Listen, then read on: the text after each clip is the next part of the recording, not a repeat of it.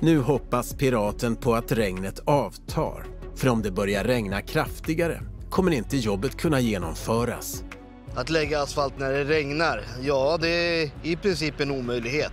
Det går med snits. Problemet är att det är kallt i backen. Vattnet kyler ju ner och eftersom asfalt är en levande massa, det är en brinnande massa. Och när det kallnar, då stelnar det. När den har stelnat så har den stelnat och då finns det ingenting mer man kan göra. Så ja, regn och asfalt, ingen bra kombo.